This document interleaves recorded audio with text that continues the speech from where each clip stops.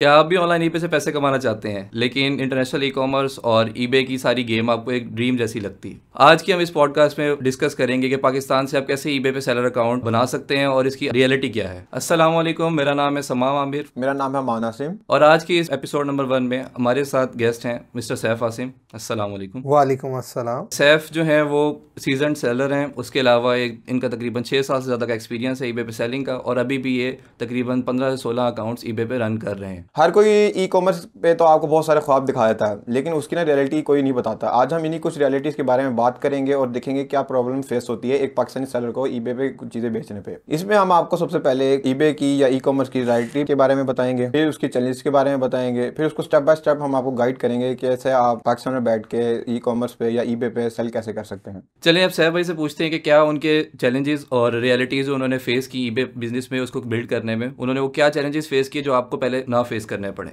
उसके बाद फिर हम स्टेप बाय स्टेप गाइडेंस पे आएँगे कि आप किस तरह से eBay step by step अपना बिज़नेस खड़ा कर सकते हैं। लेकिन उससे पहले हम चैलेंजेस और रियलिटीज़ पता कर लेते हैं। जी सर भाई। अच्छा समान भाई इसमें इस तरह से है कि आ, मेरी नज़र में जो चंद चैलेंजेस फेस करने पड़ते हैं एज अ न्यू भी जो भी बंदा ई कॉमर्स में आ रहा होता है सबसे बड़ा चैलेंज उनको होता है कि वो सीख कहाँ से सकते हैं और नॉलेज कहाँ से हासिल कर सकते हैं। तो अच्छा समान भाई इसमें ना बेसिकली हम लोगों को एक हमारी मैंटेलिटी बनी हुई है कि कोई हमें प्लेट में डाल के दे दे हमें देख बना के दे दे और हम खा लें।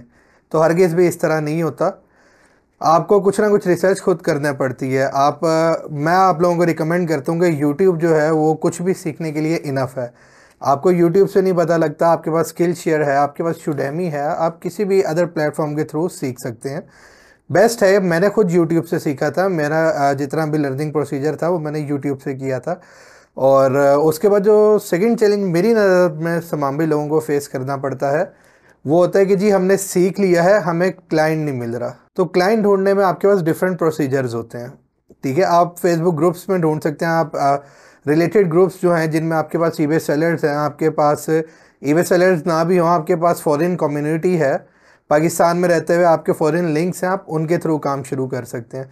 जो लास्ट और जहाँ पे आगे सबसे ज़्यादा लोग स्ट्रक होते हैं वो होते हैं इन्वेस्टमेंट कि हमारे पास इन्वेस्टमेंट नहीं है और ऑब्वियसली एक नेचुरल फिनोमिना है। आ, पैसा पैसे को खींचता है। आपने भी ये बात कई दफ़ा सुनी होगी। अच्छा इसमें ना मैं आपको एक बात बताता हूँ। पहली चीज़ ये कि अगर तो आपके पास अपना फ़ंड पड़ा ना तो आप उससे स्टार्ट लें, इससे ज़्यादा बेस्ट कुछ नहीं है।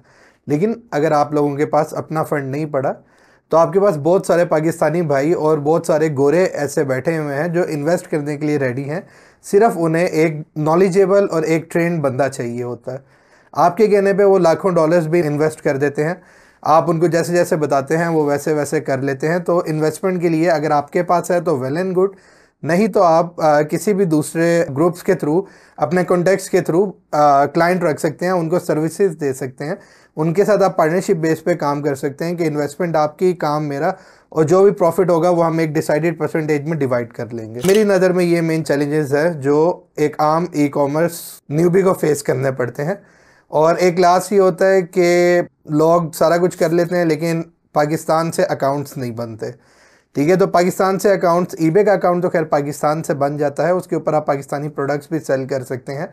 अदर जो हैं, आपके पास एटसी अमेज़ोन और अदर प्लेटफॉर्म्स जो हैं, आप अगर उनके ऊपर वर्क करना चाहें तो आप क्लाइंट्स को सर्विसेज़ दे सकते हैं या अपनी एलएलसी रजिस्टर करवा के। एलएलसी रजिस्टर करवाने के बाद आप एक फ़िज़िकल बैंक लें और उसके ऊपर इजीली वर्किंग कर सकते हैं। उन अकाउंट्स को पाकिस्तान से एक्सेस करने के लिए आपके पास आई पी और अदर सॉल्यूशंस अवेलेबल हैं। इनको इंशाल्लाह डिटेल में हम आने वाली पॉडकास्ट में डिस्कस करेंगे। ठीक है सर, अभी आपने चैलेंजेस तो काफ़ी हद तक हमें क्लियर कर दिए हैं कि इसमें चैलेंजेस आते हैं और काफ़ी ज़्यादा इसमें मसाइल होते हैं। लेकिन मसाइल को एक साइड पर रखते हैं तो क्या ये फिर भी वर्केबल है? अगर एक बंदा बिल्कुल न्यू इस फ़ील्ड में आना चाह रहा है तो उसे ईबे स्टार्ट करना चाहिए। ईबे में इस तरह के चैलेंजेस आते हैं या कोई और प्लेटफॉर्म है जो ज़्यादा ईजी है। आप ज़रा इनको थोड़ा सा कंपेयर करके हमारी ऑडियंस के लिए ज़रा थोड़ा सा बता दें। अच्छा इस पर मैं ऑडियंस के लिए जो है मेन चीज़ बताता चलूँ कि अदर प्लेटफॉर्म्स जो है ना, उनके ऊपर रिस्ट्रिक्शन और उनकी जो पॉलिसीज़ हैं वो बहुत ज़्यादा रिस्ट्रिक्ट हैं। ठीक है? जिसकी वजह से पाकिस्तानियों को उनके ऊपर काम करने में बहुत ज़्यादा मसला आता है। उनकी नस्बत अगर आप ईबे की तरफ़ आएँ तो ईबे एक ईजी प्लेटफॉर्म है फॉर न्यूबीज़ और ईबे की जो पॉलिसीज़ हैं, वो काफ़ी ज़्यादा लीनियंट हैं। तो एज अ पाकिस्तानी, बहुत आसानी से ईबे के ऊपर काम किया जा सकता है और मेजर डिफरेंस ये है कि ईबे का जो लर्निंग कर्व है, वो बहुत ज़्यादा स्टीप नहीं है। वो आपका, जो उसका लर्निंग कर्व है, वो एक स्टेबल उसमें चलता है और आपके लिए ज़्यादा मुश्किल पैदा नहीं करता। ठीक हो गया। जी, बिल्कुल सैफ भाई, आपने बातें तो सारी बता दी, लेकिन अब हम आपसे कुछ सवाल करेंगे, जैसे कि अब हमने हर नूबीस को बताना तो हम बिल्कुल ना बेसिक स्टार्ट करते हैं। आप मुझे सबसे पहले ये बताएँ कि ईबे है क्या चीज़, ठीक है? और ईबे पे हम कैसे कोई चीज़ बेच सकते हैं? या ईबे काम किस तरह करता है? मान भाई, इसमें बेसिकली है इस तरह के पाकिस्तानियों ने ना बहुत ज़्यादा अमेज़ोन का नाम सुना हुआ है। आप यहाँ पे किसी बच्चे को भी उठा के पूछ लेंगे ना, उसको भी अमेज़ोन का पता होगा। तो इन ईजी वर्ड्स अगर मैं पाकिस्तानियों को समझाऊं तो अमेज़ोन के बाद जो world second largest market place है, जहाँ पे लोग अपने प्रोडक्ट्स सेल कर सकते हैं, वो ईबे है। देन बाकी आपके पास जितने भी अदर प्लेटफॉर्म्स हैं, वो आते हैं और ईबे आपके पास सेकंड लार्जेस्ट मार्केट प्लेस है वर्ल्ड के अंदर। ये काम किस तरह से करता है, मैं आपको थोड़ा सा बेसिक उसमें प्रोसीजर समझा देता हूँ। मैं सेलर हूँ समाम भाई आप फॉर एग्ज़ाम्पल ईबे हैं और मान भाई जो हैं, मान भाई हमारे पास बायर हैं। तो हमें ना कोई जो भी बायर होता है ना, उसको कोई एक ट्रस्टेड प्लेटफॉर्म चाहिए होता है ऑनलाइन चीज़ परचेज़ करने के लिए, क्योंकि ऑनलाइन वर्ल्ड के अंदर बहुत ज़्यादा स्कैम्स हो रहे होते हैं। बेसिकली हो ये रहा होता है कि समाम भाई एज ई पे वर्क कर रहे हैं तो मैं समाम भाई के पास अपना प्रोडक्ट रखवा दूँगा, या लिस्ट कर दूँगा कि समाम भाई मेरे पास ये प्रोडक्ट पड़ा है और ये प्रोडक्ट मैं सेल कर रहा हूँ। और समाम भाई एज अ ट्रस्टेड प्लेटफॉर्म मेरे लिए वर्क कर रहे हैं, और मान भाई ने कोई चीज़ परचेज़ करनी है मान भाई कस्टमर हैं तो वो समाम भाई के पास आएँगे यार आ, ये जो प्रोडक्ट है ये मुझे चाहिए आप मुझे परचेज़ कर दो। तो समाम भाई क्या कर रहे हैं as a trusted platform deal कर रहे हैं। Same goes for e seller अपनी एक ऑनलाइन शॉप खोल लेता है ईबे अपनी पॉलिसीज़ के मुताबिक बायर और सेलर्स दोनों को सिक्योर कर देता। है अच्छा सर भाई एक और सवाल ना मेरे जहन में आ रहा है। ईबे और अमेजोन में फ़र्क क्या है? जी मान भाई इसमें मेजर फ़र्क है आपके पास कि ईबे है वो सेकंड लार्जेस्ट मार्केट प्लेस है अमेजोन आपके पास world first largest market place है। ऑब्वियसली अमेज़ोन की जो सेल्स हैं अमेज़ोन का रेवेन्यू बहुत बड़ा है ईबे की नस्बत में, लेकिन ईबे का भी कोई कम नहीं है। एक पाकिस्तानी के लिए ईबे भी इनफ है। और उसके बाद सेकंड आपके पास जो इसमें डिफरेंस है, वो ये आ जाता है कि ईबे की पॉलिसीज़ बहुत ज़्यादा लीनियंट है एज़ कंपेयर टू अमेज़ोन और इजी टू यूज़ इंटरफेस है। एक न्यूबी के लिए बेस्ट और गुड टू गो प्लेटफॉर्म है ईबे अमेज़ोन थोड़ा सा डिफ़िकल्ट हो जाता है, उसमें कुछ टेक्निकलिटीज़ हैं, वो एज अ न्यूबी उसको डाइजेस्ट नहीं कर पाते उसके नॉलेज को, जो न्यूबीज़ होते हैं। ई बे ज़रा आसान है तो वो इजीली इसको कर सकते हैं। अच्छा जो सेकंड आपके पास डिफरेंस आ जाता है, वो ये कि अमेज़ोन के ऊपर कंपटीशन बहुत ज़्यादा होता है एज़ कंपेयर टू ईबे बड़ा प्लेटफॉर्म है, आपको ज़्यादा इन्वेस्टमेंट चाहिए, और कंपटीशन ज़्यादा है, उसका एल्गोरिथम थोड़ा सा डिफ़िकल्ट है। और उसके कंपैरिजन में अगर आप ईबे देखें तो आप अमेज़ोन की नस्बत टेन परसेंट इन्वेस्टमेंट में ईबे स्टार्ट कर सकते हैं। इजी टू यूज़ है, उसके अलावा कंपटीशन कम है। आप चीज़ों को रैंक कर सकते हैं, आपके पास अपॉर्चुनिटीज़ हैं, आप यूज़ प्रोडक्ट भी ईबे के ऊपर ज़्यादा अच्छे सेल कर सकते हैं। इस तरह के कुछ दोनों प्लेटफॉर्म्स के अपने प्रोज एंड कॉन्स हैं। अच्छा ठीक हो गया साहब भाई। मुझे जहाँ तक समझ आई है मतलब ये दराज जैसे हमारा पाकिस्तान दराज और ओलेक्स का एक मिक्सचर है। अच्छा लेकिन साहब भाई आपने बताया नहीं इससे हम पैसे मतलब किस तरह कमा सकते हैं? मुझे ना कंसाइज बता दें कि इसमें पैसे कमाते कैसे हैं? अच्छा मान भाई इसमें इस तरह से होता है कि, कि एक बात बिल्कुल सही है कि आप दराज के एग्जांपल ले लें और ओ का ही ले लें। तो टाइप ऑफ़ दराज है इंटरनेशनल मार्केट में टाइप ऑफ़ दराज और ओ है ई और इसके ऊपर बेसिकली जो पैसे कमाए जा सकते हैं वो प्रोडक्ट्स बेच के पैसे कमाए जा सकते हैं। इसमें दो तीन आपके पास मॉडल्स होते हैं। एक मॉडल ये कि आप एज अ ब्रोकर काम करें, आप किसी और रिटेलर से प्रोडक्ट उठाएँ, उठा के ई पे पर लिस्ट कर दें और जब ऑर्डर आए तो डायरेक्टली वहाँ से भिजवा दें अपने कस्टमर को। इसको ड्रॉप शिपिंग भी बोला जाता है जो यहाँ पे एक आम लैंग्वेज में इसको ड्रॉप शिपिंग बोलते हैं। सेकेंड होता है कि आप अपना स्टॉक रखें अपने पास अपना स्टॉक मैन्युफैक्चर करवाएँ, उसको सेल करें, उसमें आपको थोड़ी सी ज़्यादा इन्वेस्टमेंट चाहिए होती है। और लास्ट में अपना ब्रांड आ जाता है कि आप अपना ब्रांड लॉन्च करें, अपना ट्रेडमार्क रजिस्टर करवाएँ और उसके बाद एज अ ब्रांड अपने प्रोडक्ट्स को लॉन्च करें और उसको कैरी ऑन करें। ठीक होगा सर भाई। अब एज अ पाकिस्तानी सेलर जैसे हम पाकिस्तानी हैं इसमें हम सुनने को आता है कि जो पाकिस्तानी अकाउंट होते हैं वो बहुत जल्दी सस्पेंड हो जाते हैं। तो हमें एज अ पाकिस्तानी सेलर हमें अकाउंट किस तरह बनाना चाहिए? जी मान भाई आपकी जहाँ तक बात है पाकिस्तानी अकाउंट सस्पेंड हो जाते हैं तो देखें बेसिकली ईबे ने भी पैसा कमाना है और अगर सेलर्स नहीं होंगे तो बायर्स का कोई फ़ायदा नहीं है और ईबे पैसा नहीं कमा सकता। ठीक है तो इसमें ये बात तो नहीं है कि बिला वजह ईबे आपके अकाउंट सस्पेंड कर दे। कोई ना कोई रीज़न बन रही होती है उसके पीछे की। आप आ, कुछ ना कुछ आप उसको ट्रेस आउट करें तो कोई ना कोई रीज़न निकलती है अकाउंट सस्पेंड होने की। क्योंकि ईबे ने भी पैसा कमाना है और सेलर और बायर नहीं होंगे तो ईबे पैसा नहीं कमा सकता। थोड़ी सी मैं आपको इसमें गाइडेंस दे देता हूँ कि आप ईबे का अकाउंट कैसे बना सकते हैं। अच्छा उसमें पहली चीज़ ये है कि आपके पास पेओनिर अकाउंट होना चाहिए एक फ़िज़िकल बैंक अकाउंट होना चाहिए और आपके बैंक अकाउंट के ऊपर आपका रेजिडेंशियल एड्रेस होना चाहिए और आपके पास इंग्लिश आईडी कार्ड या फिर पासपोर्ट होना चाहिए। उर्दू वाला आईडी कार्ड हरगिज़ नहीं चलेगा। उसके थ्रू आप ईबे का अकाउंट बना सकते हैं। उसका एक प्रॉपर प्रोसीजर है। आप बाइंग करके हिस्ट्री बना के उसको सेलर में कन्वर्ट करें और आगे उसके ऊपर लिस्टिंग करके अपना काम स्टार्ट करें। अच्छा ठीक हो गया साहब भाई इसमें हमें कौन कौन से डॉक्यूमेंटेशन की ज़रूरत होती है? क्या मुझे अपनी मैट्रिक की सनद भी देनी पड़ेगी इसमें? मान भाई ये तो आप क्या बातें कर रहे हैं? आपको मैट्रिक की सनद क्यों देने पड़ेगी? इसमें सिर्फ़ ये है कि आपके जो नॉर्मल डॉक्यूमेंट्स हैं, जिनमें आपका आईडी कार्ड आपकी बैंक स्टेटमेंट आ जाती है। और उसके अलावा ज़्यादा से ज़्यादा आपको एक utility bill as a proof of address देना पड़ता है। और आपको इसमें ये मैट्रिक की सनद या अपनी बैचलर्स की डिग्री इस तरह का कुछ नहीं चाहिए होता। और आपको टेंशन लेने की बिल्कुल भी ज़रूरत नहीं है। ये दो चार चीज़ें आपके पास हों तो आप इजीली काम कर सकते हैं। मान भाई ने अच्छे सवाल पूछे बेसिक्स आपकी तकरीबन क्लियर हो गई होंगी मेरे ख्याल में। अब हम चलते हैं प्रोडक्ट सिलेक्शन वाले साइड पर कि हम कौन सी प्रोडक्ट ऐसी बेचेंगे कि उससे हमें मतलब ईबे पे सेल्स आना शुरू हो और हमारा ईबे का बिज़नेस जो है वो आहिस्ता आहिस्ता स्टार्ट होना शुरू हो। सर मुझे अब ये बताएँ कि एज अ पाकिस्तानी हम वो कौन सी प्रोडक्ट्स जो हैं पाकिस्तान से भी उठा के बाहर बेच सकें और बाहर हम वो प्रोडक्ट सेल करें तो हमारे पास अच्छी सेल्स हैं। तो मुझे थोड़ी सी प्रोडक्ट्स के बारे में बता दें और वो किस तरह से सेल करेंगे आप थोड़ी स्ट्रेटजी भी हमें बता दें। अच्छा समाम इसमें इस तरह से है कि आपने ना बेसिकली अपने थोड़ा सा जो थिंकिंग पैटर्न है वो चेंज करना है। अपनी पाकिस्तानी सोच से निकल जाएँ। बहुत लोग आपको कहेंगे, नमक बेचो, नमक बिकता है, ये बेचो, ये बिकता है। थोड़ी सी अपनी मैंटेलिटी चेंज करें और जो बंदा यूएस में रह रहा है, उसके लिहाज से सोचना शुरू करें। अगर मैं as a U S national सोचूं या as a U K national सोचूं तो मुझे क्या क्या मसले फेस करने पड़ेंगे, हम उससे रिलेटेड प्रोडक्ट सेल कर सकते हैं।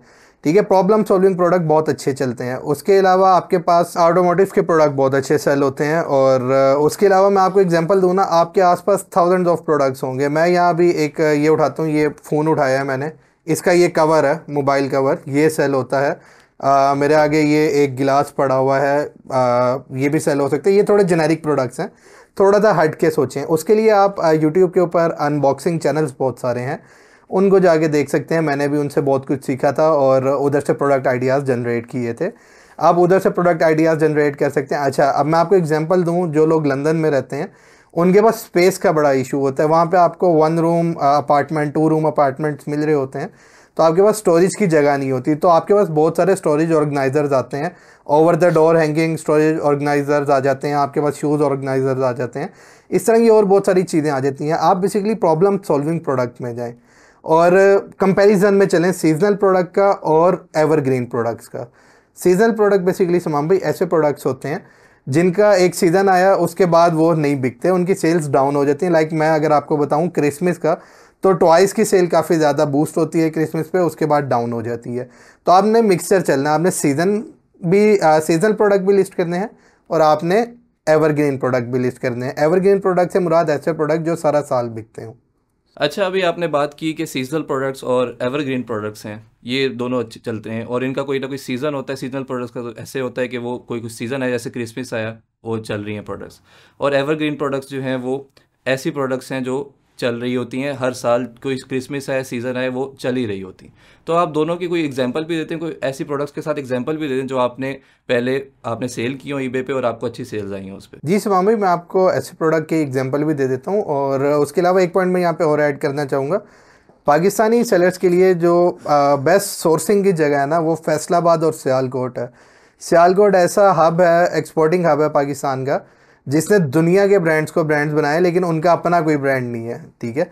अब मैं आपको जो आपका क्वेश्चन था, उसके मुताबिक अगर जवाब दूँ तो एवरग्रीन प्रोडक्ट्स में आप अगर आ जाएँ तो सियालकोट से बहुत ज़्यादा सेल होते हैं आपके सर्जिकल इंस्ट्रूमेंट्स ठीक है? सर्जिकल इंस्ट्रूमेंट्स आपके एवरग्रीन प्रोडक्ट हैं। सर्जरीज और उनसे रिलेटेड चीज़ें सारा साल होनी है, सारा साल वो बिकने हैं।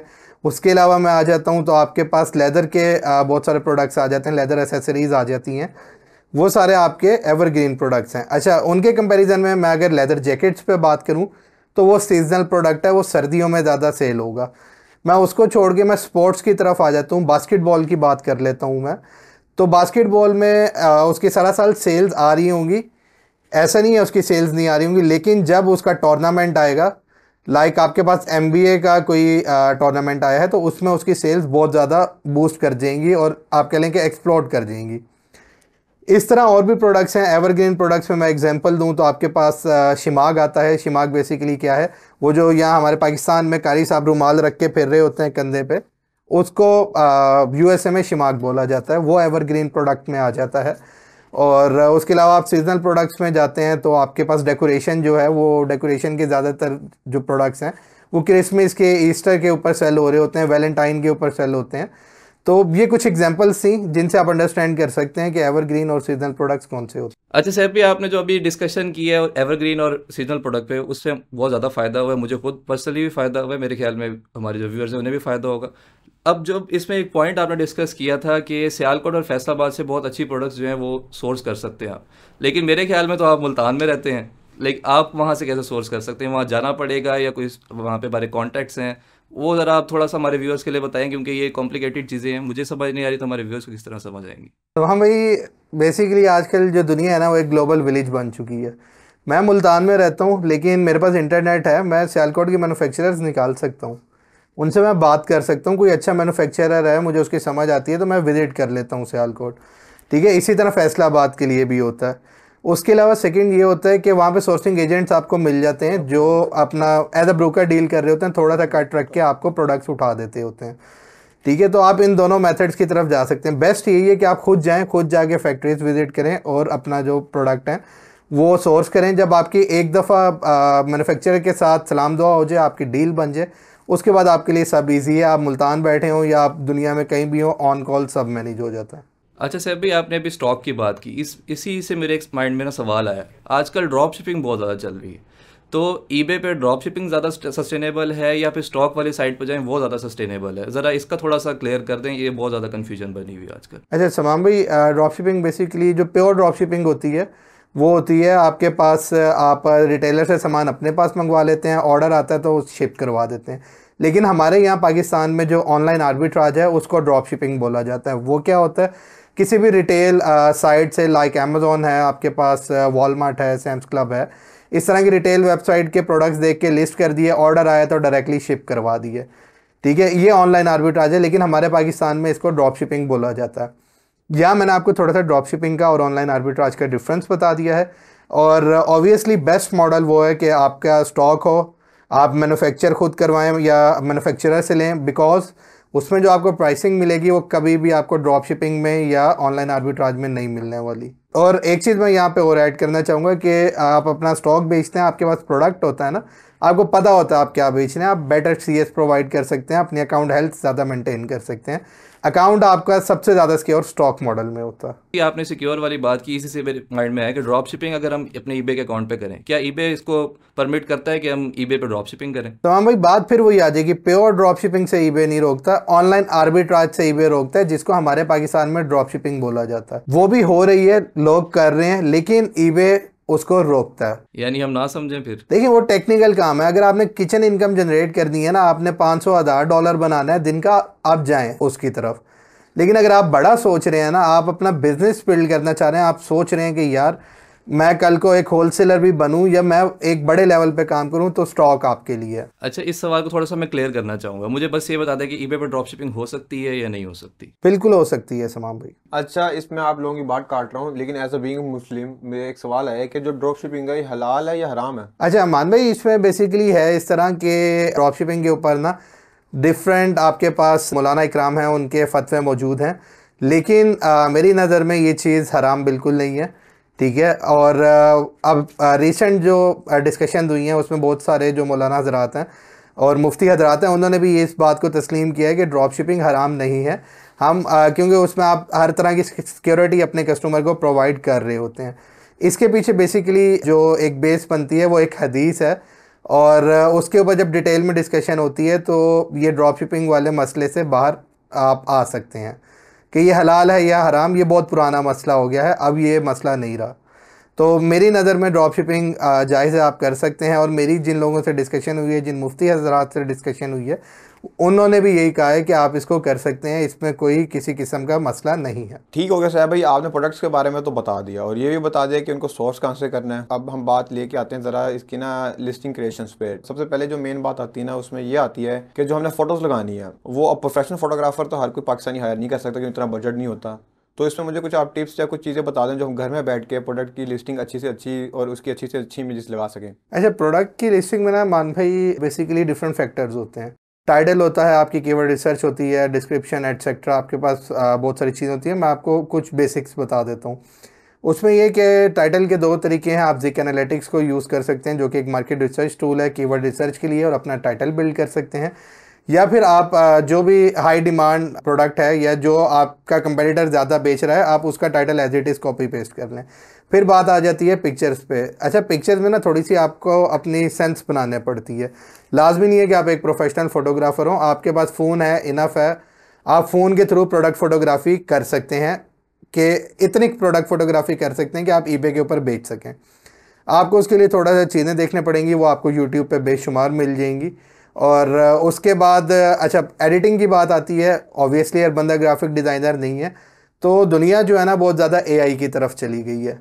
आप, इसमें एक मैं आपको एआई का नाम बता देता हूँ फ़ोटो रूम नाम का एक एआई है, मैं बताते, खुद भी उसको यूज़ करता हूँ। आप उसको अपनी फ़ोटोज़ एडिट करने के लिए यूज़ कर सकते हो। और उसके बाद आपकी प्राइसिंग आ जाती है, आपकी डिस्क्रिप्शन आ जाती है, आपकी रिटर्न पॉलिसी आ जाती है। रिटर्न पॉलिसी में बायर को आप अच्छा रिटर्न दें। अच्छा रिटर्न ड्यूरेशन दें आप थर्टी डेज़ के अराउंड उसको रिटर्न ड्यूरेशन दें, ताकि उसका ट्रस्ट बिल्ड हो सके आप पे। और डिस्क्रिप्शन में बायर को इमोशनली अटैच करें अपने डिस्क्रिप्शन के साथ, और उसको एक रीज़न दें कि वो मार्केट में 20 लोग और वो प्रोडक्ट बेच रहे हैं। आपके प्रोडक्ट में ऐसी क्या खास बात है कि वो आपसे ही ले? जी साहब, आपने तो सारी बातें बता दी लिस्टिंग के बारे में, लेकिन अब जैसे अगर हम कोई प्रोडक्ट लगाते हैं तो जहरी बात है उसमें कंपटीशन भी होता है अच्छा खासा। अब मुझे आप ये बताएँ कि हम प्राइस किस तरह सेट करें अपने प्रोडक्ट की कि हम अच्छी तरीके से रैंक कर सकें या फिर हम उनका सही तरीके से कंपटीशन कर सकें? अच्छा मान भाई बेसिकली ना प्राइस डिपेंड कर रही होती है आपके कंपेटिटर्स के ऊपर और आपने मार्केट रिसर्च करनी होती है कि किस प्राइस रेंज में लोग बेच रहे हैं। ठीक है, आप उससे ज़्यादा रखेंगे तो आपको सेल्स नहीं आने वाली। बेस्ट ये कि आप लोएस्ट प्राइस के साथ आएँ, लेकिन आप एक ट्रेंड देख लें, आपको प्राइस वॉर में पड़ने की ज़रूरत नहीं है। आपकी लिस्टिंग अच्छी हो पिक्चर्स अच्छी हो आपकी रिटर्न पॉलिसी हो शिपिंग टाइम पे हो तो आप दूसरे सेलर से कुछ दो चार डॉलर ऊपर रख के भी बेच सकते हैं। उसका इतना मसला नहीं है। तो आपने प्राइस वॉर में हरगिज़ नहीं जाना। आप कंपेटिटर्स को एनालाइज करें, उनकी प्राइसिंग को एनालाइज करें, उस लिहाज से अपनी प्राइसिंग सेट करें। अच्छा सर भी आपने बेसिक्स के बारे में बात कर ली प्रोडक्ट कहाँ से लेनी है, वो भी बात कर ली उस पर प्राइसिंग कैसे सेट करनी है और लिस्टिंग किस तरह से करनी है, उस पर भी बात होगी। अच्छा मुझे ये बताएँ कि मेरे पास एक ऑर्डर आ गया एक प्रोडक्ट का, ठीक है? अब मैंने उसको शिप कैसे कराना है? पाकिस्तान से पहले बात कर लेते हैं कि पाकिस्तान से अगर मुझे कोई ऑर्डर आया, कोई पाकिस्तानी प्रोडक्ट ही थी मेरे पास, उसका मुझे ऑर्डर आया। तो अब मैंने उसको शिप कैसे कराना है और उसके कौन कौन से हमारे पास शिपिंग कोरियर सर्विसेज़ हैं हमारे पास, जिनको यूज़ करते हुए हम उसे शिप करवा सकते हैं। अच्छा समाम भाई, इसमें ना आपके पास दो तीन शिपिंग मेथड बेस्ट अवेलेबल हैं पाकिस्तान में। वो क्या है? आपके प्रोडक्ट में मार्जिन अच्छा है प्रॉफिट बच रहा है तो go toward D H L D H L को यूज़ करें बेस्ट है। ईजी टू शिप है फास्टेस्ट डिलीवरी है D H L good to go आपके प्रोडक्ट में प्रॉफिट नहीं है तो आप पाकिस्तान पोस्ट की तरफ़ जा सकते हैं। पाकिस्तान पोस्ट के E M S packet deliver होते हैं और within fifteen to twenty days के पीरियड में all over the world deliver हो जाते हैं। मैं खुद पाकिस्तान पोस्ट और डी एच एल दोनों को यूज़ कर रहा हूँ। एक बहुत ज़्यादा मिथ बनी हुई है कि पाकिस्तान पोस्ट से हम भेजें तो वो पहुँचता नहीं है पार्सल डिले बहुत हो जाता है पार्सल गुम हो जाता है। तो बहुत ज़्यादा इसमें मसला नहीं आता। दूसरी चीज़ ये आती है कि सबसे ज़्यादा सवाल यहाँ पैदा होता है कि पाकिस्तान डीएचएल की तो चलो इंटरनेशनल ट्रैकिंग एक्सेप्टेबल है ई के ऊपर ट्रैक हो जाती है, पाकिस्तान पोस्ट की ट्रैकिंग कैसे ट्रैक होगी? तो उस नैरियो में यह है कि पाकिस्तान पोस्ट की ट्रैकिंग ना ओरिजिन कंट्री में पहुँच के चेंज हो जाती है किसी और शिपिंग सर्विस में। लाइक like मैं आपको एग्जांपल दूँ यूएस से पाकिस्तान पोस्ट के थ्रू आपने भेजा आइटम तो वो जब यूएस से आइटम पहुंचेगा, उसकी ट्रैकिंग यूएसपीएस में चेंज हो जाएगी। इसी तरह जब वो यूके पहुँचता है तो वो रॉयल मेल के अंदर चेंज हो जाती है। ठीक है नाइन्टी परसेंट जो है वो वहाँ की जो भी पोस्टल सर्विस होगी गवर्नमेंट की, उसके ऊपर शिफ्ट हो जाती है। समटाइम्स इनके प्राइवेट कंपनीज़ के साथ भी कॉन्ट्रैक्ट होते हैं। तो वो आपको थोड़ा सा फाइंड करना पड़ता है, आपको रिसर्च करने पड़ती है थोड़ी सी। अच्छा सैफ भाई इसमें मैंने अभी रिसेंटली ना मेरी एक पोस्ट थी उसके नीचे कमेंट आया था कि कस्टम वालों ने मेरे इतनी दफ़ा प्रोडक्ट्स पैकेजेस खोले हैं कि मेरे से ज़्यादा वही देख रहे होते हैं प्रोडक्ट्स को ज़्यादा जानते हैं मेरे से ज़्यादा प्रोडक्ट्स जो मैं शिप कर रहा हूँ। क्या ये बात दुरुस्त है? वाकई इस तरह होता है कि कस्टम वाले जो हैं वो आपके प्रोडक्ट्स के साथ खेलते हैं और आपके शिप आगे नहीं जाने देते और टैक्स वगैरह ज़्यादा लगाते हैं? समाम भाई अब पाकिस्तान में रहते हुए काम करना है तो कुछ चैलेंजेस तो फेस करने पड़ेंगे। अच्छा उसमें भी ना मैं आपको बताऊँ तो 95 परसेंट आपके किसी आइटम में मसला नहीं आता। मैं अगर हंड्रेड ऑर्डर शिप करवाता हूँ ना तो या तो हंड्रेड में इशू नहीं आता या इक्का दुक्का ऑर्डर में ये इशू आता है। वो भी, इसमें भी एक आपके पास एक्सेप्शन क्या है कि अगर इस्लामाबाद का जो हब है, उसके थ्रू शिप हो रहा हो तो कभी कोई मसला नहीं आता। हाँ कराची का हब में अगर आपका पार्सल बाय चांस या बाय लक पहुँच जाए तो वहाँ पे ये इशू समटाइम्स आपको फेस करना पड़ सकता है। वो किस तरह का कि अगर आप बास्केटबॉल शिप करवा रहे हैं तो वो उसके अंदर सुआ मार के चेक करेंगे, छुरा मार के चेक करेंगे कि आपने कोकेन तो नहीं भरी हुई। अगर आप परसेंटेज की बात करें तो less than one percent orders के ऊपर इशू आता है, जो मेरा एक्सपीरियंस है। पार्सल आपका घूमता नहीं है कहीं पर ठीक है? पार्सल ना भी पहुँचे, आपको रिटर्न होता है पार्सल इस चीज़ की गारंटी है। अच्छा कस्टम्स वाली हमने ये वाली बात तो कर ली। अब इसमें कोई गिद्दड़ सिंह है हमारे पास कि कैसे हम कस्टम्स वगैरह से बचा सकते हैं अपने पार्सल आपका माशाल्लाह काफ़ी एक्सपीरियंस है। तो ज़रा अपने एक्सपीरियंस से हमें बताएँ कि किस तरह हम कस्टम्स वाले जो चैलेंजेस आते हैं, इनको कैसे टैकल करें और सॉल्व करें। समान भाई, ये तो आपने वही बात की है कि आप लोगों को मैं बेहतरीन दोस्त ना बना लूँ। कुछ चीज़ें अंदर की होती हैं, थोड़ा सा आपको आइडिया दे देता हूँ। बेसिकली अगर आपने अपने पार्सल बचाने हो ना, आप कह रहे हैं कि बिल्कुल भी मसला ना आए तो उसके लिए आपके पास एक तगड़ा पावा किस्म का बंदा जो है ना कस्टम्स में होना चाहिए।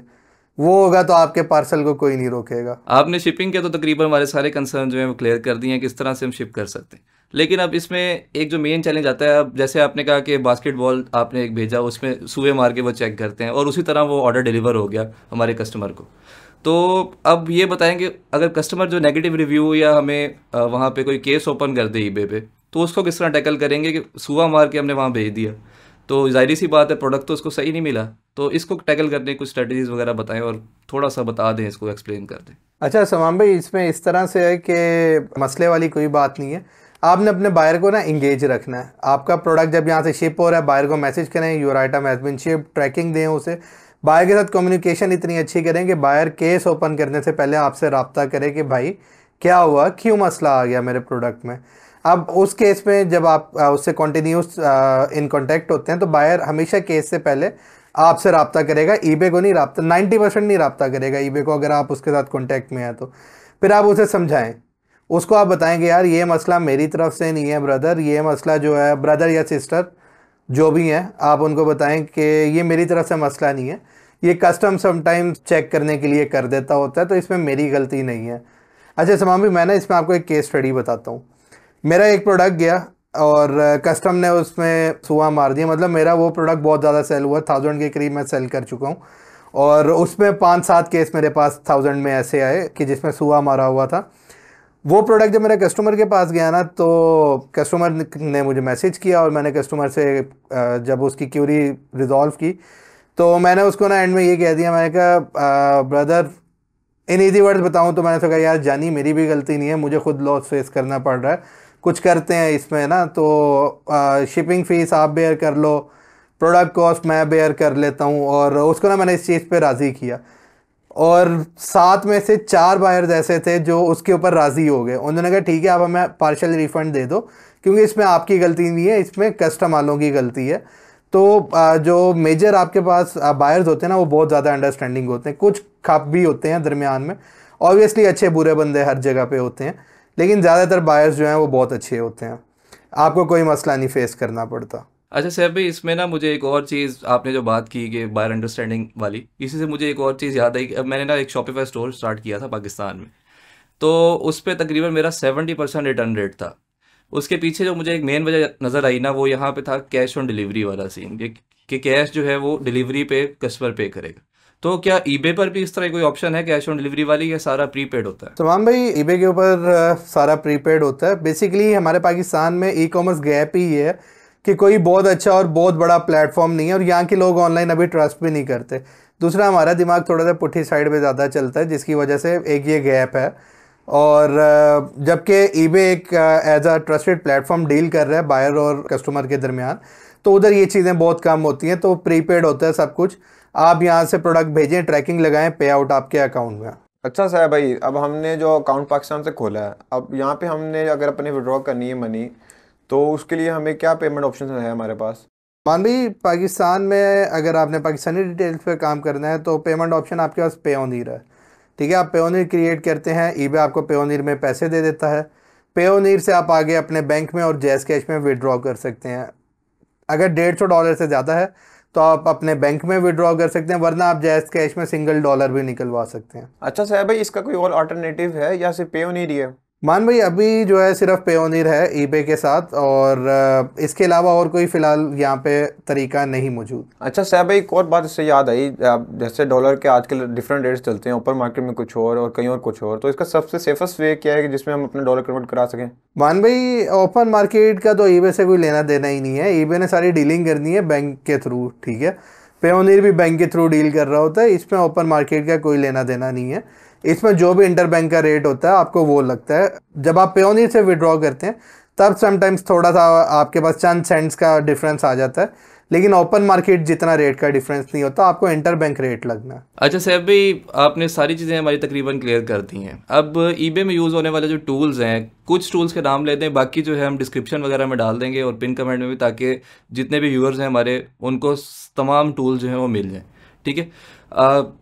जो सबसे इंपॉर्टेंट टूल्स है ना, जो ईबे के मस्ट है, जिसके बगैर ईबे पे सेलिंग जो है नामुमकिन है, वो आप कुछ बता दें ताकि हमारी जो ऑडियंस है, उसके माइंड में आ जाए चीज़ें सारी। तो हम भाई अच्छा ईबे में मस्ट हैव टूल्स में एक आपके पास मोर लॉगिन आ जाता है, जो कि पाकिस्तान से अकाउंट एक्सेस करने के लिए यूज़ होता है इंटरनेशनल अकाउंट पाकिस्तानी अकाउंट के लिए वो टूल भी नहीं चाहिए आपको। इसके अलावा इन स्टार्ट आपको किसी किस्म का कोई टूल नहीं चाहिए। इन फ्यूचर जो टूल्स हैं, आप कोई ओवरसीज़ अकाउंट एक्सेस करना है, आपने तो आपको मोर लॉगिन और प्रॉक्सी सेलर चाहिए होगा। प्रॉक्सी सेलर से आईपी लेके आप मोर लॉगिन में लगाएँगे उसके थ्रू अकाउंट एक्सेस करेंगे। और सेकंड uh, नंबर पे आपको जिक एनालिटिक्स चाहिए जो कि ईबे का सबसे ट्रस्टेड मार्केट रिसर्च टूल है। इसके अलावा और कोई टूल आपको नहीं चाहिए। और ये बहुत ज़्यादा एक्सपेंसिव टूल नहीं है। ये आपको कुल मिला के thirty to thirty five dollars में पड़ते हैं। अच्छा टूल्स का तो आपने बता दिया। अब मुझे ये बताएँ कि अगर मैं एक ही लैपटॉप से दो अकाउंट चलाना चाहूँ तो क्या ये मुमकिन है और क्या ये सेफ़ है? अकाउंट सस्पेंड तो नहीं होता? सुमान भाई अगर आप पाकिस्तानी डिटेल्स में दो अकाउंट चलाना चाह रहे हैं सेम लैपटॉप के ऊपर तो मैं रिकमेंड करूँगा आप मोर लॉगिन को यूज़ करें। वो बेसिकली यूज़ उसका जो यूज़ है उस टूल का वो यही है मल्टी अकाउंट एक्सेस के लिए वो यूज़ होता। है और चाहे इंटरनेशनल हो चाहे लोकल हो आपने दो अकाउंट चलाने हैं एक ही लैपटॉप के ऊपर तो MoreLogin is the best solution अच्छा इसमें एक चीज़ जो है ना वो जब मैंने काम इस पर किया था अभी भी कर रहा हूँ तो उससे मुझे मसला ये आता, पाकिस्तानी आई जो है ना, वो अक्सर नहीं मिल रही होती। और जैसा आपने कहा कि आईपी जो है, एक ही आई पे अगर हम दो अकाउंट एक्सेस करेंगे तो वो सस्पेंड हो जाते हैं। तो दो आई जो हैं, वो हम किस तरह रख सकते हैं? कोई इसका भी कोई प्लेटफॉर्म या टूल है, जिससे हम पाकिस्तानी आई जो हैं, वो ले सकते हैं? सुमान भाई, आप तो ऐसे सवाल कर रहे हैं कि लोग जो है ना, कह दें कि, सह भाई, यहाँ आए पैसे लेके टूल्स की प्रमोशन करने हैं। ऐसा हरगिज़ नहीं ये सारे वो टूल्स मैं आपको बता रहा हूँ, जो बताते खुद मैं यूज़ करता हूँ। और आपका जो सवाल है, उसमें यह कि पाकिस्तानी आई इस टाइम ऑथेंटिक जो है, वो नोड मेवन से मिलते हैं। लेकिन नोड मेवन थोड़ा सा एक्सपेंसिव है। वो आपको स्टार्ट में यूज़ करने की ज़रूरत नहीं है। आप इन फ्यूचर उसे यूज़ करें। ठीक है? और पाकिस्तानी आई के लिए ये one of the best solution है वो। ठीक है सैफ भाई, आपके टाइम का बहुत बहुत शुक्रिया। आज हमें बहुत सारे जो सवाल थे हमारे माइंड में ई से रिलेटेड और मेरे ख्याल में हमारे व्यूअर्स के भी काफ़ी हद तक सवाल जो हैं वो क्लियर हो गए होंगे। अब मेरे ख्याल में हम बहुत लंबी हो रही है वाली पॉडकास्ट इसका हम इंशाल्लाह आपको किसी और दिन दावत देंगे। उसमें हम मज़ीद जो चैलेंजेस फेस कर रहे हैं, और इस वीडियो के जो कमेंट्स होंगे, उसमें से हम सवाल जो हैं वो उठा के अगली वीडियो में हम इसका सारे सवाल के जवाब दे देंगे ठीक है? अभी के लिए मेरे ख्याल में हम इसको क्लोज करते हैं। आपका बहुत बहुत शुक्रिया आने का। जी समान भाई आ, हम तो आप बुलाएँ और हम ना आए ऐसा हो नहीं सकता। इसकी एक मिसाल है फिर कभी देंगे इंशाल्लाह नेक्स्ट पार्ट में देंगे। आप जब भी बुलाएँगे हम हाजिर हैं। चलें ठीक है इंशाल्लाह आप सबसे मुलाकात होती है इंशाल्लाह अगले एपिसोड में। तब तक के लिए ख्याल रखें। अल्लाम